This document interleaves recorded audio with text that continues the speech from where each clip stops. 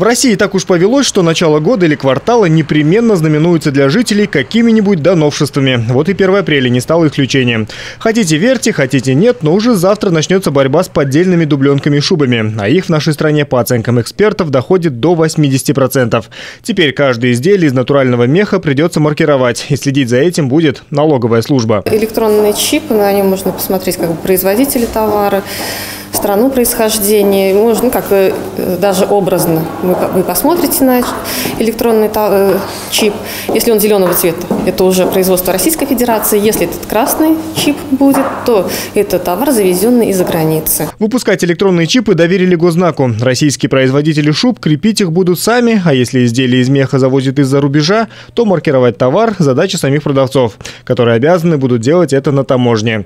Получается, судьбу каждой норковой шубы можно будет отследить от фабрики до покупателя.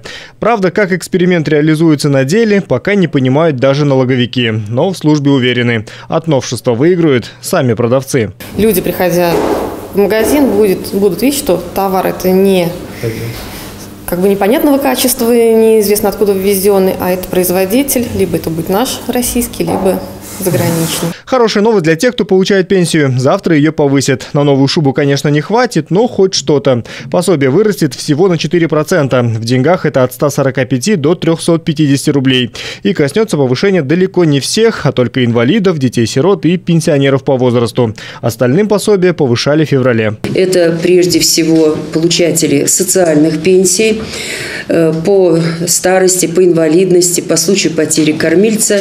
Э, это те, кому пенсия назначена без стажа, без заработка, то есть она без страховых вот всех этих э, периодов, которые учитываются при назначении пенсии. Сейчас неприятная весть для автомобилистов. С 1 апреля акциз на бензин вырастет на 2 рубля. Российскому бюджету новшество дополнительно принесет порядка 90 миллиардов рублей, а автовладельцам лишь расходы. Нефтяники заявили, что следом на 2 рубля подорожает и бензин. И не верить топливным компаниям основания нет.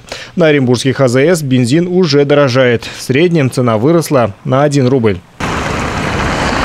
И напоследок, завтра станет сложнее работать пищевикам. Предприятия, которые пекут хлеб, выпускают макароны, сахар, соки и алкоголь, обяжут разработать инструкции по охране труда. Типовых инструкций по охране труда при производстве пищевой продукции э, не было. То есть работодатели разрабатывали сами на, непосредственно для того оборудования, на котором заняты работники. Нацелены эти правила на снижение производственного травматизма. В интернет-публикациях уже появились опасения, что как только новшество вступит в силу, трудинспекция обрушится с проверками на предприятия и будет нещадно штрафовать предпринимателей, которые не разработали инструкции. Однако в Оренбургской инспекции успокаивают, внеплановых проверок на этот счет не ожидается. Мерики Ульманов, Константин Воробьев. Наше время.